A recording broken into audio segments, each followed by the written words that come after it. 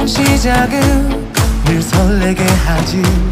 모든 걸 이겨낼 것처럼 시간을 뒤쫓는 시계바늘처럼 앞질러 가고 싶어 하지.